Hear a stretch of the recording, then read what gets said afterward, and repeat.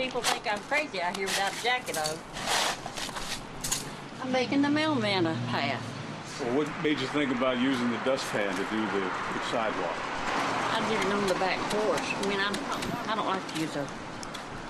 I'm afraid of chopping the, chopping up the brick and all. And, uh, well, it's easier for me. I like a shovel. How long you been doing? How long did it take you to get this space here cleared Oh, out? I- Not long. I put hot water on it. Ah. What are you doing? Oh, we work for Channel 12. Oh my gosh. Lower, Pam, Mercy. And you're just doing a wonderful One- job.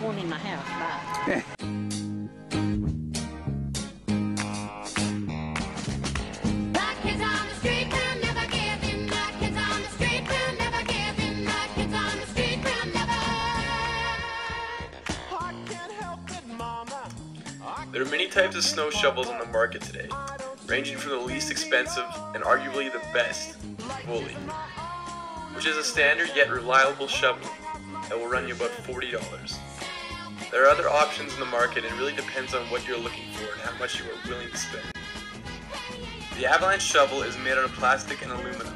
They are lightweight and compact enough that they can be carried on a backpack. Many backpacks feature a holster for attaching the shovel to the outside. A shovel can dramatically decrease the time it takes to dig out a victim. Digging with hands takes an average of 45 minutes to shift 1 square meter of snow. Using a shovel to dig out the same amount of snow takes less than 10 minutes. It is also important to make sure you are comfortable with your shovel. Making sure you know how to assemble and disassemble your shovel as quickly as possible can greatly increase the odds of a successful rescue.